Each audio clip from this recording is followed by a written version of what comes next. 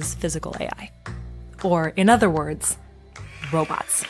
My friends, Meaning humanoid robots, but also robots like self driving cars and smart buildings or autonomous warehouses or autonomous lawnmowers or more.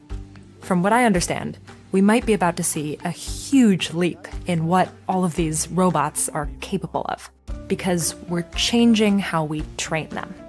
Up until recently, you've either had to train your robot in the real world, where it could get damaged or wear down, or you could get data from fairly limited sources like humans in motion capture suits.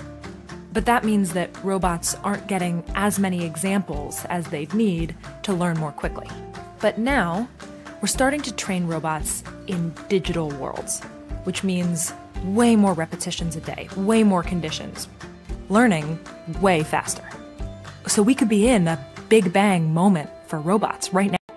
And NVIDIA is building tools to make that happen.